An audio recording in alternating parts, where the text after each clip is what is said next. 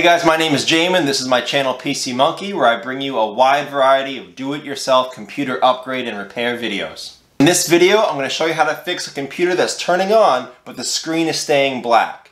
If your computer is not turning on, that's a different problem. Click on this video here instead. This video is for a computer that's turning on but the screen is black or dim or otherwise not working. Before we get started guys, a couple quick things. First, please remember to like, share, subscribe if this was helpful. If you want to support me a little more, feel free to send a super thanks. Even a couple bucks guys goes a long way to me making these videos and being as available as often as possible to answer questions. If you have any questions or issues, feel free to check out the FAQs below in the description. That could save you some time getting a fast answer. If you need to leave me a comment or question, please do so. I try to answer those at least a couple times a day. Second and last quick thing, a shout out to my sponsor, NiceHash. NiceHash is the world's largest hash power marketplace. What that means for you guys in English is that you can rent out your computer's unused power online to people mining cryptocurrency and you get paid for that in Bitcoin. It's a great way to start investigating the world of crypto. It's a great way to make money on the side with no work, no added investment. Uh, you can click here for more info from them or stay tuned. I'll fill you in a little more about them at the end of the video. So now to get into the repair guys, the first test I'm going to have you run is for RAM issues. Sometimes it comes loose, sometimes it goes bad. This is one of the most common causes to a black screen issue I've found in my shop is a RAM issue. So let's flip your laptop over and let's access your RAM. Okay, so to get started testing your RAM guys, you want to make sure your workspace is safe. As you can see here, I have an anti-static pad. Either a pad or a bracelet would be good. You also need your tools. You need a uh, pry tool, screwdriver at least. If you need any help finding equipment, send me a message or check out the link at the top of the screen. Um, I keep an Amazon store with a lot of things that I use in my shop so you guys know what to use. I have an easy access panel here. If you do as well, it'll be a lot easier to get into your computer. If you're having trouble getting into your computer, let me know what your brand and model number is and I can help you get into it. But now I'm going to pop this open my pry tool. Screwdriver to take out the one screw in this computer. It's pretty easy. And pop this panel off. And there's your RAM. So most likely your RAM looks a lot like this. You'll have two RAM ports with two RAM sticks in it. You should at least see one. Uh, the RAM is held into your computer by metal arms that are spring-loaded. You push those arms to the side and the RAM pops up. Like that. And then it just slides out. To put RAM back in, you'll notice there's a long port and a short port. That goes in and it snaps back down in place.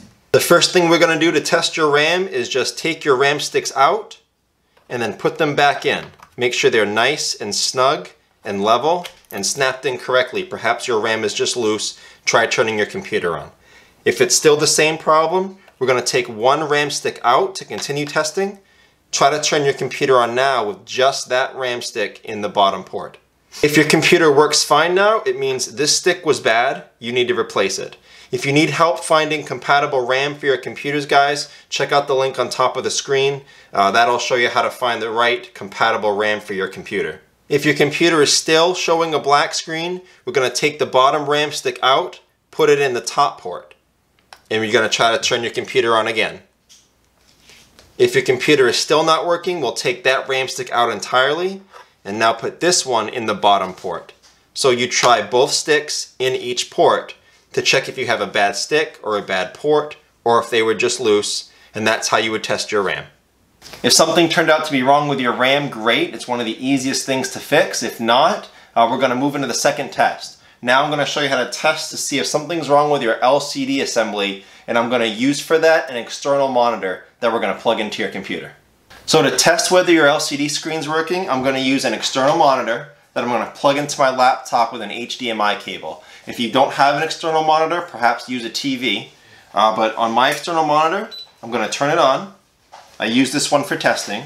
Uh, it says no signal, and I have an HDMI cord plugged into it. I'm going to take that cord and plug it into my laptop.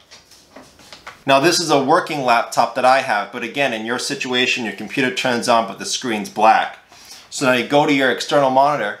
If you see a picture being displayed to your external monitor while your screen is black, we've kind of identified what's wrong. Your computer's working, it's sending out a good signal, but your LCD assembly is not processing it correctly. You're looking at most likely a bad LCD, a bad LCD cable, or a loose L LCD cable. If that's the case, the first thing I do is unplug my LCD cable from both ends, from the motherboard and from the LCD, and then plug it back in, make sure it's secure. If that's not fixing your issue, you may need to replace your LCD or your LCD cable. It's your choice which one you want to replace first. LCD cables are cheaper. LCDs are kind of easier to replace because you don't have to access the motherboard, so it's your call. If your external monitor is black, just like your LCD screen is black, and it's not getting a display, you may be looking at a motherboard issue at this point because no signal's being sent out. At that point, some computers, uh, some more complex computers, you can troubleshoot it down to the GPU or other components, but with most consumer laptops, you're looking at a motherboard issue at that point, it, it may need to be replaced. So if you are looking at a possible motherboard issue, guys, is one last thing you can try is a manual BIOS reset. There'll be a video link below in the description where I show you how to do that procedure on a motherboard. As far as this video goes, guys, please remember to like, share, subscribe again. Super thanks if possible. Um, any comments, I do try to get back to them a couple times a day at least. And as promised, a little more info now on my sponsor, NiceHash. As mentioned earlier, NiceHash is the world's largest hash power marketplace. What that means is you can rent out your computer's unused power. Most of us have computers way more powerful than we need day to day and you can rent out that untapped power online to cryptocurrency miners who will pay you in Bitcoin for the use of that power.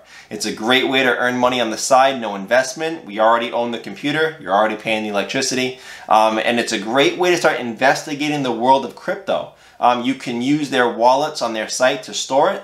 You can do research on other cryptos using their research tools. You can use their exchange to trade for other cryptos. It's a great way to get into the world without um, investing your own money and risking losing it. So it's a great idea to do. Again, check out this link for more information. Leave me any comments or questions. Um, thanks so much for watching, guys. Look forward to seeing you on my next video.